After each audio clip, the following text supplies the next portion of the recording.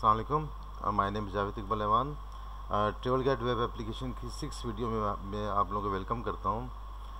इस वीडियो में इससे पहले जो रिसेंटली मैंने काम किया था, उसमें हमने पैकेजेस बनाए थे और पैकेज के अंदर जो है वो मैंने एडमिन पैनल से पैकेज ऐड करवाए थे और उसको यहाँ पे रिट्रीव कराया था यूज़र पैनल पे, जिसमें हमने, जैसे एडमिन से हमने दो पैन दो पैकेज ऐड किए थे गोल्डन ऑफ़र की थी और उसमें जो है हमने गोल्डन पैकेज की जो अमाउंट पे डेटाबेस में एडमिन के अकाउंट के थ्रू ऐड कराई थी। और फिर यूज़र के पेज के ऊपर हमने इसको रिट्रीव किया था। अब इसको हम फर्दर आगे कंटिन्यू करेंगे। अब जैसे यहाँ से जब हमने काम किया था और जिसको मैंने यहाँ पे पैकेज के अंदर जब हमने व्यू बनाया था तो यहाँ मैंने उसको लिंक दिया था रिज़र्व के एक पेज का जो मैं बनाऊँगा। मैं आपको कहा था मैं बनाऊँगा और वो मैं कंट्रोलर बनाऊँगा और उस कंट्रोलर पर जो है वो मैं इसको डायरेक्टली पास करूँगा कि अगर कोई सब्सक्राइब करता है, ये ऑफ़र को जो सब्सक्राइब करेगा तो देन वो क्या होगा कि वो उसको उस पेज पे ले जाएगा रिज़र्व वाले पेज पे। यानी हमने जो एंटिटीज़ बनाई थी रिजर्वेशन की, उस एंटिटीज़ पे जो है वो उसको लेके जाएगा और फिर उसके बाद जो है वो पेमेंट का प्रोसेस होगा। तो इसको हम भी कंटिन्यू करते हैं। अब इस पर्पज़ के लिए हम क्या करेंगे, हम एक कंट्रोलर बनाएँगे, जिसका नाम मैं रिज़र्व ही रखूँगा, ताकि जो है वो डायरेक्टली इसको इस पेज पर ले जाए। और उस कंट्रोलर जो हमने यूज़र कंट्रोलर बनाया, उसके अंदर मैं एक एक्शन मेथड बनाता हूँ रिज़र्व के लिए। तो हमने कहा पब्लिक एक्शन रिज़र्व की क्लास यूज़ करके मैंने रिज़र्व का नाम दे दिया और इसको मैं गेट के लिए बनाऊँगा। हमने कहा रिटर्न व्यू कर देते हैं गेट के लिए। और फिर इसी तरीके से मैं पोस्ट के लिए बनाऊँगा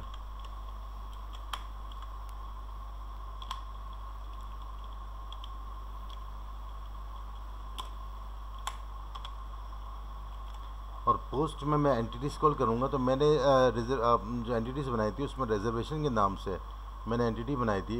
मैं उस एंटिटी को यहाँ पे कॉल करूँगा और फिर उसके अंदर मौजूद कॉलम्स को मैं यहाँ से वैल्यू असाइन करेंगे हम लोग। तो मैं इसके आर्गूमेंट के अंदर अपनी रिजर्वेशन की क्लास दे रहा हूँ। और इसको मैं किसी भी आर के नाम से, किसी भी नाम से मैं इसका ऑब्जेक्ट बना लेता हूँ।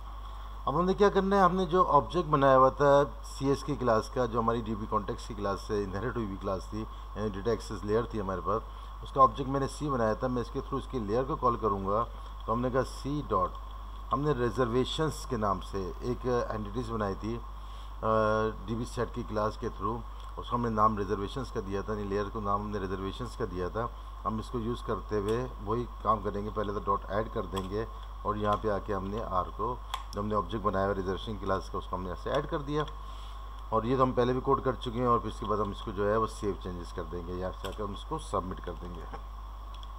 अच्छा अब यहाँ पे एक चीज़ होगी। अब मुझे लिंक करना है कि रिजर्वेशन के पेज पे जो आता है, वो जो रिजर्वेशन के फॉर्म को फिल करेगा और जो फॉर्म को फिल करने के बाद जैसे ही वो सबमिट का बटन प्रेस करता है तो मैं उसको ले जाना चाहता हूँ पेमेंट के पेज पे। और वहाँ पे जो है उसे कार्ड नंबर ले लेंगे। तो कार्ड नंबर हम पहले नहीं देंगे, जब वो रिजर्वेशन कर लेगा तो कार्ड नंबर देंगे। हम दोनों रास्ते हैं, या तो आप इसी रिजर्वेशन के टेबल के अंदर ही कार्ड नंबर का ऑप्शन दे दो। एक तो वो तरीका है। दूसरा तरीका ये कि मैं यहाँ से डायरेक्ट लिंक दे के वहाँ पास कर दूँगा। दोनों तरीके हैं। तो अगर मैं, वो तो सिंपल है, अगर मैं इसी में दे देता तो फिर तो ये अभी ऐड हो जाता। और मुझे कुछ और करने की ज़रूरत नहीं होती है और मैं डायरेक्टली जो है ऐड कर लेता हूँ। मैं एक नई चीज़ आपको सिखाना चाहता हूँ कि अगर मैं एक एक्शन रिज़ल्ट मेथड से दूसरे मेथड को अगर लिंक करना चाहते हैं और हम चाहते हैं यहाँ से एंट्री लेके और यहाँ से आईडी ले, यानी रिजर्वेशन आईडी अब देखिए, हमने जो टेबल का स्ट्रक्चर बनाया था, वो यूँ बनाया था कि पेमेंट का जो टेबल था और रजिस्ट्रेशन का टेबल था, कि रजिस्ट्रेशन के टेबल के अंदर हमने यहाँ पे प्राइमरी की असाइन की थी। ना एंटिटीज़ के थ्रू जो मैं आपको एंटिटीज़ से समझा देता हूँ, कि हमने एंटिटीज़ के थ्रू रिजर्वेशन के अंदर R E G I D को R D G I D को मैंने प्राइमरी की दी थी और फिर इसके पेमेंट के अंदर इसी आर डी को मैंने फ़ॉरन की बनाई थी और वन टू मैनी की ज्वाइनिंग की थी वर्चुअल के ज़रिए से हमने वन टू मैनी की यहाँ पे ज्वाइनिंग की थी।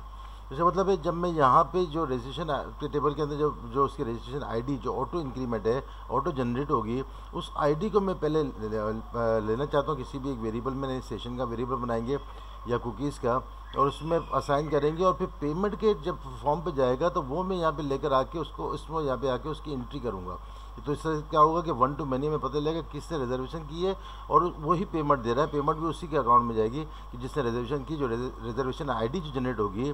तो मतलब वो आईडी जब यहाँ आ जाएगी और फिर पेमेंट की उस कार्ड का नंबर लिखेगा तो उसका मतलब वो पेमेंट कर रहा है जिसने उस रिजर्वेशन को वहाँ से बुकिंग की थी। तो इस हवाले से अब जब हम ये इस तरह का काम करना चाहते हैं तो एक नई चीज़ आपके लिए आ जाएगी। तो किस तरह से करेंगे कि आप यहाँ पे पहले तो सेशन बनाओगे। और सेशन बना के हम एक पेज से दूसरे पेज जो वैल्यू क्रॉस करना चाहता हूँ तो या सेशन लेंगे, या कुकीज़ लेंगे, या फिर हमें क्यूरी स्ट्रिंग का ऑप्शन होता है ना। तो मैं यहाँ पे स्टेशन लेता हूँ, और सेशन की कोई भी एक नाम देता हूँ। मैंने आर आई डी या किसी भी नाम से सेशन को आईडी जनरेट कर दी। अब मैं इसको आईडी देना चाहता हूँ। रिकॉर्ड मेरा सेव हो चुका है। देखिए, यहाँ पर सबमिट हो चुका है। रिकॉर्ड हमारा सबमिट हो गया है। सबमिट होने के बाद अब मैं इसको उठाना चाहता हूँ। तो आज जो मेरे पास ऑब्जेक्ट है रिजर्वेशन की क्लास का, मैं इसके थ्रू हमने जो एंटिटीज़ बनाई थी रजिस्ट्रेशन आईडी वो मैं पास कर दूँगा। तो इसका मतलब जो रजिस्ट्रेशन आईडी जनरेट हुई है, यानी सेव करने पर जो ऑटो इंक्रीमेंट से जो आईडी जनरेट हुई है, वो हमारे पास आरआईडी के सेशन में पास हो जाएगी। फिर इसके बाद मैं इसको डायरेक्टली लिंक कर देता हूँ। पेमेंट के लिए मैं बनाऊँगा तो मैं रिटर्न रिडायरेक्ट टू एक्शन कर देते हैं। रिडायरेक्ट टू एक्शन और यहाँ पे आके मैं एक नाम देता हूँ पेमेंट का जो मैं बनाऊँगा तो मैं पेमेंट के मेथड में इसको पास कर दूँगा। ठीक है जी? पहले तो हम रिजर्वेशन पे आ जाते हैं रिजर्वेशन करते हैं या फिर चलें डायरेक्टली हम पहले पेमेंट के लिए बना लेते हैं। अब मैं इसी तरह से पेमेंट के लिए एक मेथड बना लेता हूँ, और उसके लिए भी मैं पहले गेट का बनाऊँगा तो हमें एक्शन रिज़ल्ट और मैंने यहाँ पे पेमेंट का उसको नाम दे दिया, जो मैंने ऊपर पास किया था। और इसको मैं यहाँ से आके रिटर्न व्यू कर देता हूँ। और इसी तरीके से फिर हम यहाँ पे जो है वो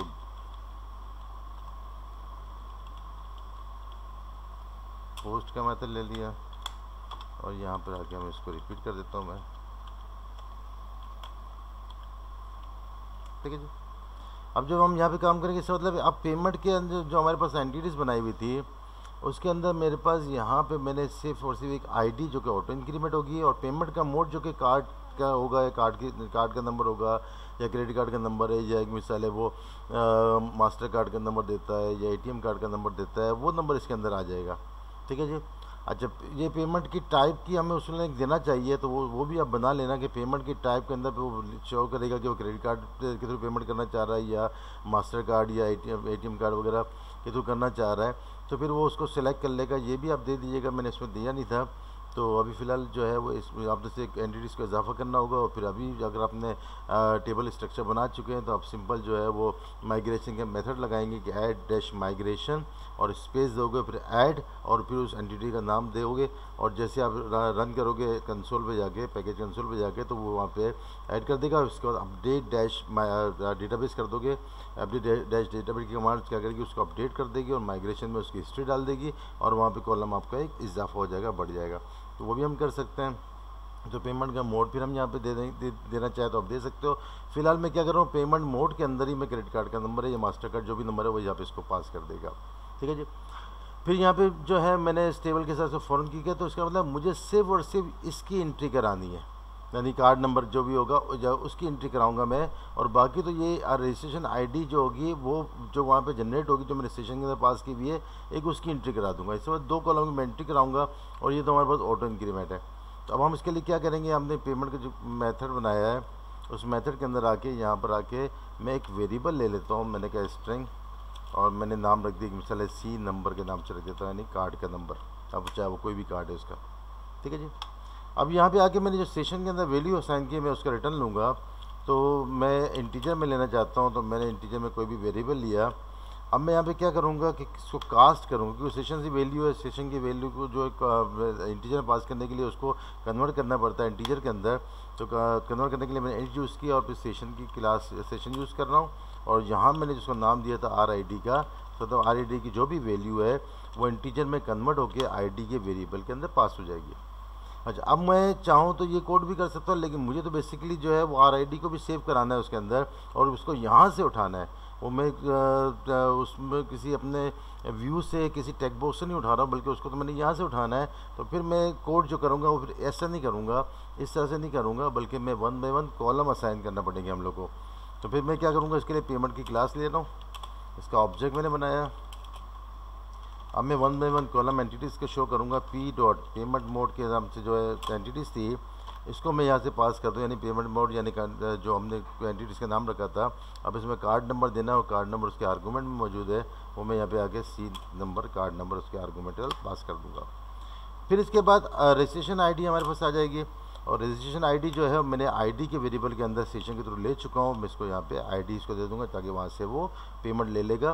तो जो पेमेंट इसकी यहाँ पर आ चुकी होगी, इस आईडी के वेरिएबल में आ चुकी होगी, वो यहाँ से इसको यहाँ पे आके मिल जाएगी।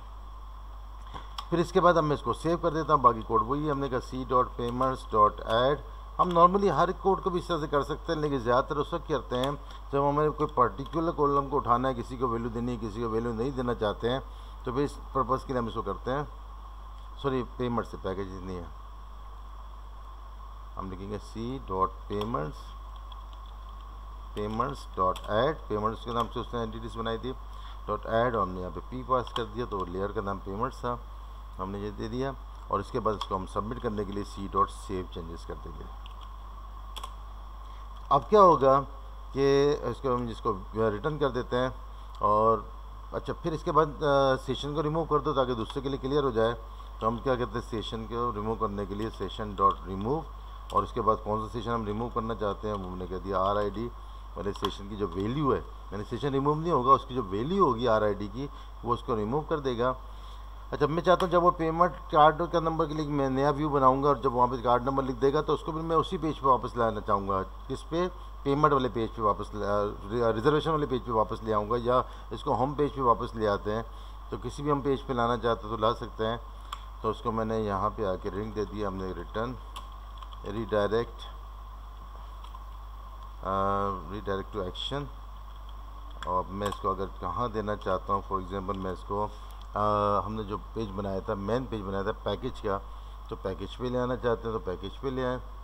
ठीक है जी तो हम पैकेज पे ले आते हैं। और हमने पैकेजेस के नाम से बनाया था तो मैं पैकेजेस के पेज पे ले आता हूँ उसको।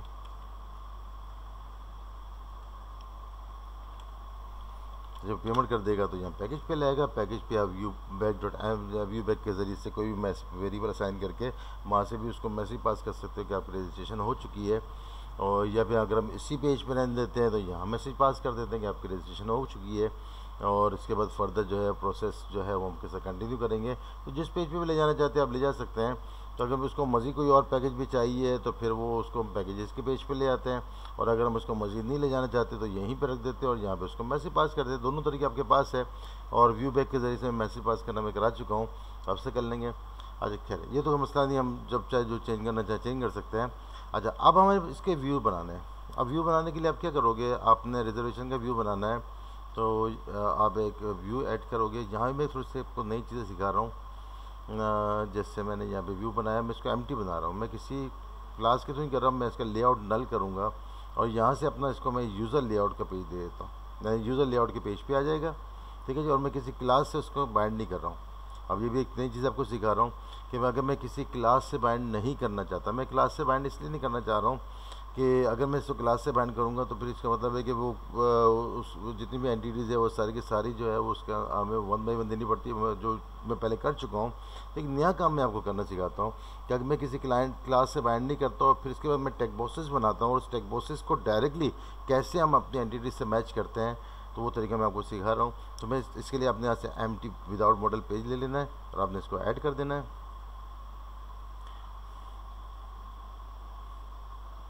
ये हमारे पास व्यू ऐड हो जाएगा। व्यू में कुछ भी नहीं है।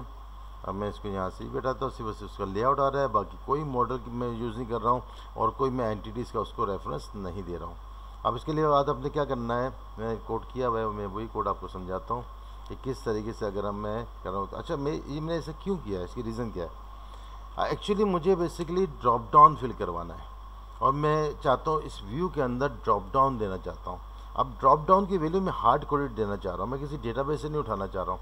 अगर डेटाबेस से उठाना है तो ठीक है, हम डेटाबेस के लिए व्यू बना मेथड बना के और उससे उठा लेते हैं। लेकिन चूँकि मैं इसकी वैल्यू हार्ड कोडेड देना चाहता हूँ तो फिर इस पर्पज़ के लिए मैं इसको किस, कोई भी मॉडल के ज़रिए से, कोई एंटिटी से इसको लिंक नहीं करना चाहता हूँ। बल्कि मैं उसको हार्ड कोडेड देना चाहता हूँ तो उसके लिए तरीक़ेकार क्या होगा देखें। अगर देखें। कोड तो समझिएगा कोड को। बिल्कुल इजी कोड बनाया सी एस वगैरह यूज़ किए इतना मुश्किल नहीं है। तो उससे कौन से अपने क्लियर करें। अच्छा। मैंने यहाँ पे देखें कोई भी क्लास नहीं ली, कुछ भी नहीं लिया। अब मैं यहाँ पे क्या करूँगा, सबसे पहले एच टी डॉट बिग इन्फॉर्म मुझे करना पड़ेगा और यहाँ पे आके अपना जो मैंने कंट्रोलर का नाम है कंट्रोलर में जो मेथड का नाम है, मैं वो पास कर दिया और फिर यहाँ पे अपने कंट्रोलर का नाम अपना दे दिया। यानी यूज़र के कंट्रोलर के अंदर रिज़र्व के नाम से जो हमने एक्शन रिज़ल्ट मेथड बनाया वो उसके साथ मैट हो जाएगा। फॉर्म मेथड हमने यहाँ से पोस्ट कर दिया, यानी इसका मतलब है कि यूआरएल के थ्रू नहीं आएगा। ये तो हमारे पास सिंपल सा हो गया। अब एक्चुअली असल चीज़ क्या मैंने किसी भी एंटिटी से उसको बाइंड नहीं किया। मैं दोबारा बता रहा हूँ, मैंने किसी से ऊपर बाइंड नहीं किया, कोई मॉडल की, के थ्रू मैंने जो है किसी एंटिटी से या आई इनोमरेबल यूज़ नहीं किया, ना ही मैंने फॉरिश करना चाहता हूँ, कुछ भी नहीं करना चाहता हूँ। तो एक नया तरीका आपके पास है कि मैं यहाँ पर टेक्स्ट बॉक्स बना रहा हूँ। हमने कहा input type equal to tax text box बनेगा और नेम इक्वल टू जो मैं नया नाम दे रहा हूँ, ये मैं वो नाम दूँगा जो मैंने अपनी एंटिटीज़ के अंदर पास किया हुआ है। अब देखिए मेरी रिजर्वेशन की एंटिटीज़ के अंदर मेरे पास नेम के नाम से मेरा एक एंटिटीज़ है, यानी कॉलम टेबल के कॉलम का नाम नेम है। तो ये क्या मैं यहाँ पर आके इसका वही नाम रखूँगा? मैं आके इसको वही नाम रखूँगा जो मैंने वहाँ पे नाम दिया अगर आप यहाँ पे नाम अलग रखोगे तो इसका मतलब इसको वैल्यू उस टेक बॉक्स से नहीं जाएगी, इस टेबल के अंदर डेटाबेस के अंदर उस वैल्यू नहीं जाएगी। मैं वो करके भी दिखा दूँगा। अच्छा इसी तरीके से देखा ईमेल है तो ईमेल को भी वैल्यू आप कुछ भी लिखो वैल्यू से वास्ता नहीं है। वैल्यू का लिंक नहीं है वैल्यू कुछ भी लिख सकते हो, या ना भी तो आपको मसला नहीं है। और यहाँ पर भी आके उसको मैं नए में ईमेल दे रहा हूँ जैसे मतलब है इसका इसको मैं मैच कर रहा हूँ अपने उस रिजर्वेशन के अंदर जो हमने एंटिटीज़ बनाई है ईमेल की, उसके साथ मैच कर रहा हूँ। इसी तरीके से हम यहाँ पर जो है वो देखें, यहाँ पे मैंने कॉम्बो बॉक्स बनाया गाइड के नाम से। मैंने इस पर्पज़ के लिए, इस वजह से मैंने जो है वो जो है इसके फोल्ड वगैरह यूज़ नहीं किया और ना ही मैंने उसको जो है एंटिटीज़ का लिंक दिया है। तो यहाँ देखें, मैं यहाँ पे गाइड के नाम से कॉम्बो बॉक्स बना रहा हूँ। तो गाइड के नाम से मैंने यहाँ पर कॉलम दे, दिया हुआ है। गाइड के नाम से मैंने कॉलम दिया हुआ है। तो इस मतलब उस, इस गाइड के जो कॉलम के साथ इसी नाम को मैं पास कर रहा हूँ। ईमेल के बाद गाइड है। तो मैं उसी नाम से पास कर रहा हूँ। तो भाई, यहाँ पे जो कॉम्बो बॉक्स में जो भी सिलेक्ट करेगा, जैसे मैंने यहाँ पे गाइड के चंद एक नाम दे दी जो मैं हार्ड कोडेड देना चाहता हूँ। आज वैसे तो हम डेटाबेस से भी इसको ऐड करवा सकते हैं एडमिन पैनल से भी ऐड करा सकते हैं। ज़्यादा बेहतर है कि एडमिन पैनल से ऐड करा लें। और लेकिन इस तरह की एप्लीकेशन में अगर आपको ज़रूरत हो तो करा लीजिएगा। और ना तो इससे हम हार्ड कॉपी भी दे सकते हैं तो वो जो कराना चाहें तो डेटाबेस से मैं मैच करवाना आपको करवा चुका हूँ और डेटाबेस में एडमिन पैनल के थ्रू हम ऐड भी कर चुके हैं और उसको रिट्रीव भी कर चुके हैं। इसी तरीके से ऑफर्स के नाम से मैंने कॉलम बनाया और यहाँ पर आके मैंने अपने एंटिटीज़ के अंदर ऑफर्स के नाम से कॉलम बनाया तो वही ऑफर्स का नाम हम यहाँ भी पास कर देंगे।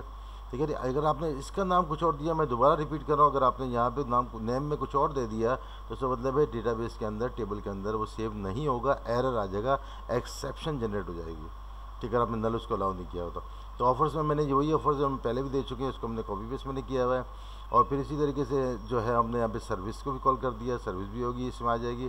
सर्विस भी जहाँ से वो सिलेक्ट करेगा, वो भी डेटा उसमें भी कॉम्बो बॉक्स में पास कर रहा हूँ। बाकी तो सब सीएसएस का कोड है।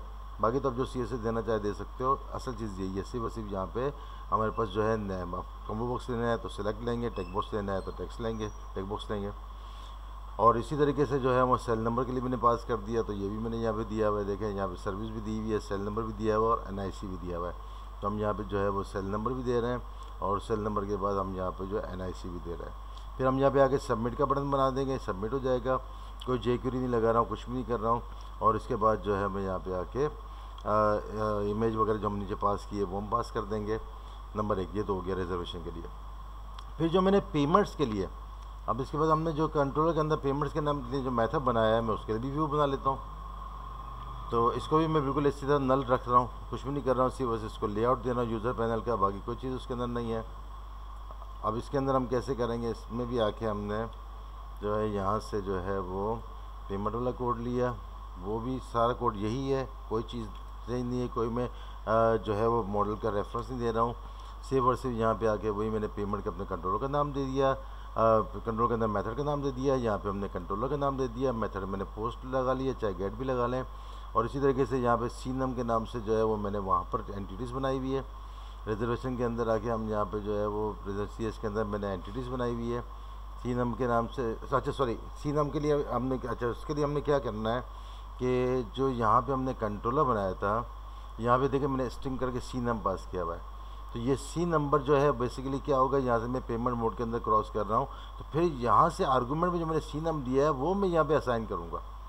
यहाँ मैं उसको असाइन करूँगा जो मैं टेक बॉक्स में इसका नाम दिया हुआ है, क्योंकि बेसिकली यहाँ से नंबर उसके आर्गूमेंट में जाएगा मेथड जो फ़ंक्शन बना उसके आर्गूमेंट में जाएगा, और उसके बाद वो जो है वो उसके अंदर कार्ड के अंदर उसके अंदर, उसके वैल्यू चली जाएगी।